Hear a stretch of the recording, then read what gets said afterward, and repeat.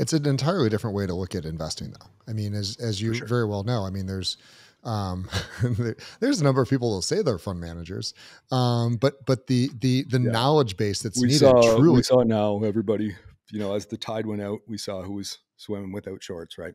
Yeah, well, yeah. Holy cow! Um, you know, it turns out that those ten thousand plus uh, percentage points that they were saying was was increases was was just leverage um, that they were doing. So I mean, it mm-hmm. really it's it's a it's to do this responsibly. I think you know you you're you've done well but over a long period of time, over many boom and bust cycles to to mm-hmm. to stay where you're at, and that takes a real you know amount of diligence, uh, research, and, and honestly just just education of which there's no one that can teach you other than yourself.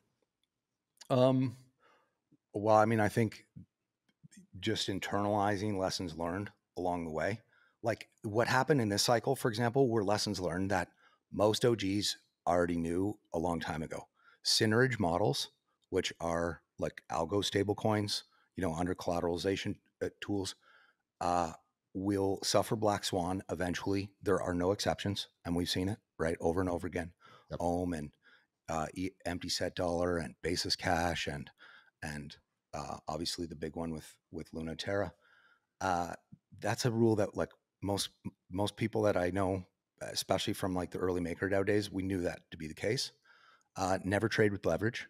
Um, trading a high beta asset with leverage is like it was funny my my my a friend of mine who's been in, in the game with me for almost this entire decade uh, said you know what i don't even know where to go to find leverage to, to trade like it's not even something that would like ever pass through my mind as a thing to do in weight in from centralized entities and uh, uh yeah trading uh, like risk on crypto assets with leverage is like it's just Russian roulette, right?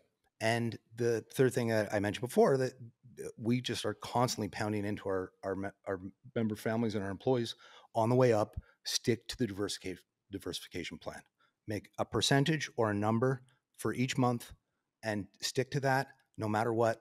Uh, on on the entire way up, you'll be so glad. You have no idea the number of families that have reached out in the last couple weeks and been like, bro, like we ride for life, right? Like, thank you so much.